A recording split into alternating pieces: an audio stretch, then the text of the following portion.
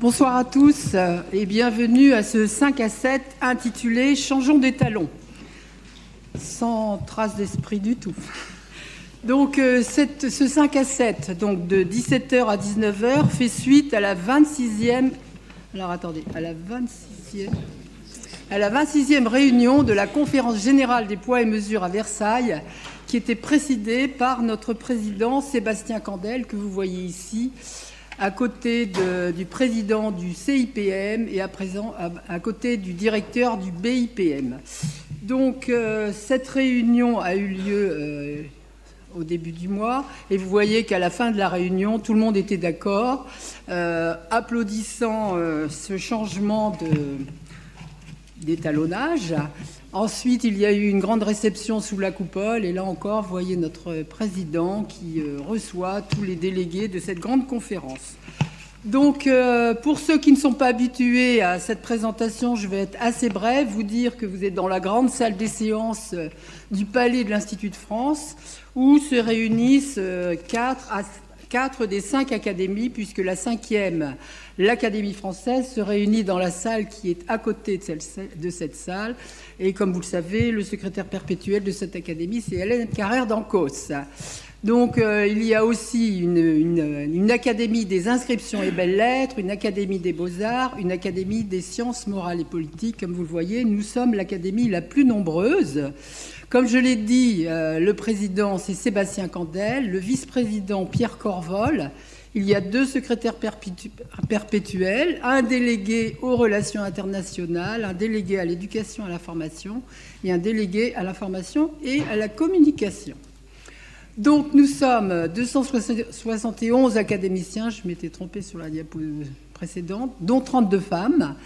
Euh, nous sommes élus par euh, nos pairs, nous sommes regroupés en deux divisions, nous avons un certain nombre de comités et groupes de travail.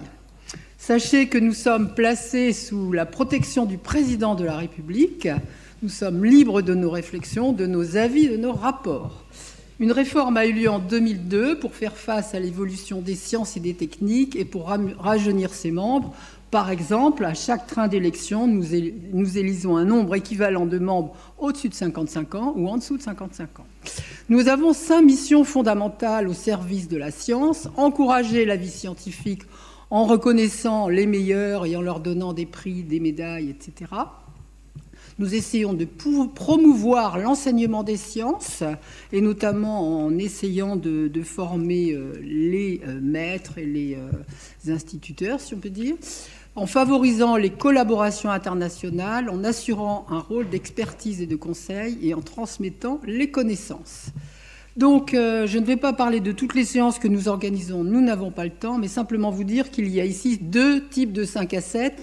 Un 5 à 7 que nous appelons Histoire et philosophie des sciences et un cycle Rencontre avec un académicien.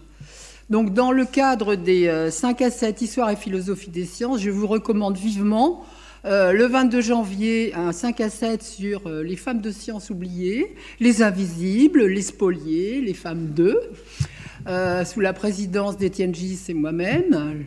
Le 26 mars, nous aurons un 5 à 7 sur Léonard de Vinci, dont vous savez que nous fêtons euh, l'anniversaire de la mort euh, en 2019. Et puis, au mois d'octobre, nous parlerons aussi d'une autre grande, grande aventure du XXe siècle, antibiotiques, sulfamides, évidemment, résistance, etc. Euh, très prochainement, euh, nous avons un 5 à 7 rencontre avec un académicien, donc euh, le prix Nobel Jean-Marie Laine, qui nous fait l'honneur d'être donc notre dernier 5 à 7 de l'année, mais qui inaugure l'année de la chimie.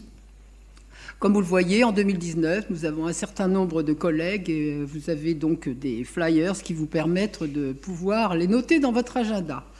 Donc, euh, sans plus tarder, j'aimerais donner la parole à nos orateurs et euh, leur dire de vraiment euh, se tenir à leur temps, puisque nous avons quatre orateurs aujourd'hui.